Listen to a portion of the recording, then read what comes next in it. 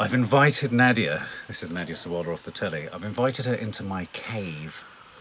Mm. Your hair looks so different.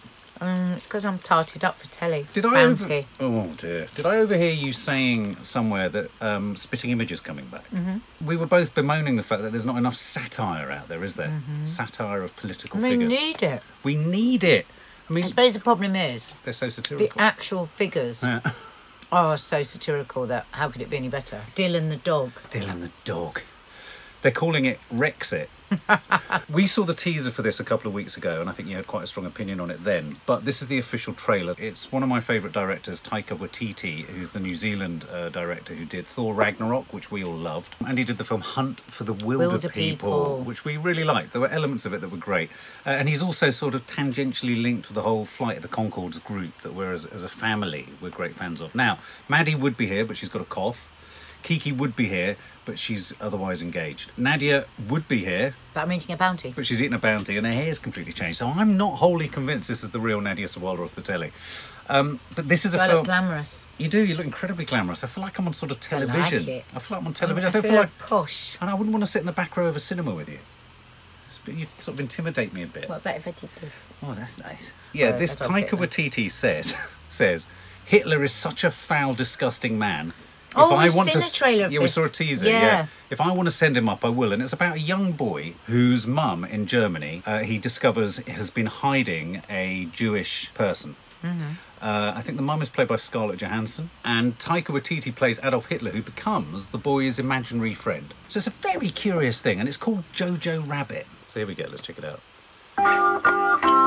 Here's Marshal Jojo. You're our top man. Prepare to leave the house. Today, you boys will be involved in such activities as Sam war Rockwell. games, ambush techniques, and blowing stuff up. I don't think I can do this. Was? Of course you can. When I was your age, I had an imaginary friend. Got me in so much trouble. Kids, it's time to burn some books. You're growing up too fast. Ten-year-olds shouldn't be celebrating war and talking politics. Heil Hitler. I wish more of our young boys had your blind fanaticism. Did you know Jews can read each other's minds? But how would you know if you saw one? They could look just like us. Hi. Ah! you know what I am? Say it. A Jew. Gesundheit. Sheesh, that was intense. What am I going to do? No idea. Got it! I will Burn down negotiate. the house and blame Winston Churchill. Or negotiate. If I tell on you, you'll be in big trouble. They'll never win. Love is the strongest thing in the world. Your mother took me in. She's kind. She treats me like a person. You two seem to be getting on well. She doesn't seem like a bad person.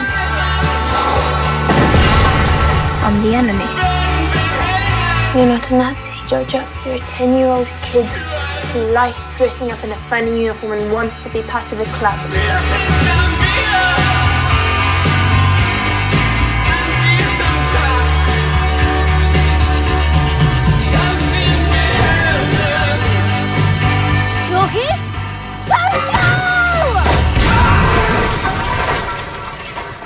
God. Nothing makes sense anymore. Yeah, I know. It's definitely not a good time to be a Nazi.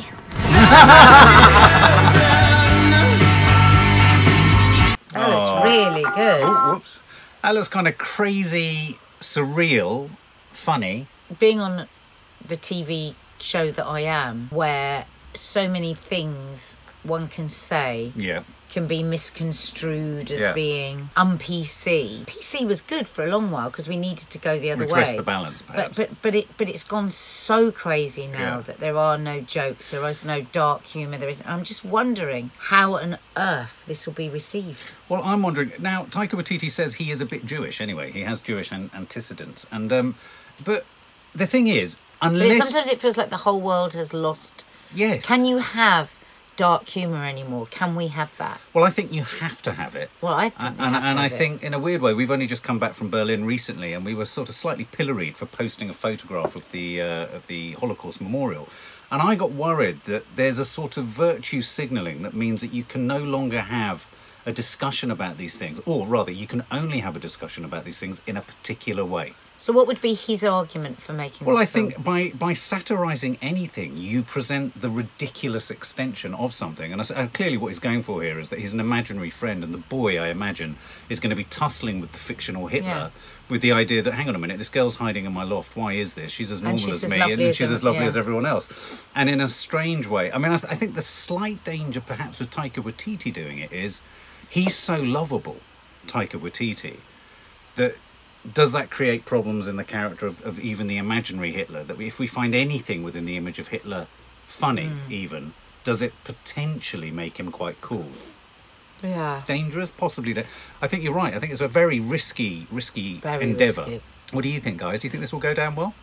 Do you think it might lead to lots of uh, protests, or, or do you Will think it's people a- understand what he's Yeah, trying to do, yeah. or will he just seen be seen as disrespectful? Yeah, I mean, I couldn't work Dangerous. out in, within that. I mean, it's clearly a story told from the children's perspective, which he Hmm. did very well with the Hunt for the Wilder People. He's very powerful with young kids, isn't he? Kind of looking Yeah, and confused. showing just through the innocence of Yeah. child. Children are taught to hate. Yes. That's the thing that we have to remember. They're not born hating. Yeah, and I And think so that's what. he's showing that that that being taught to hate, and yet there's always so much promise yeah. in in children. And maybe, there? and that's what I'm getting from it. Maybe he's taking us back Yeah. to like looking at the world and people through the eyes of children, and they see no difference.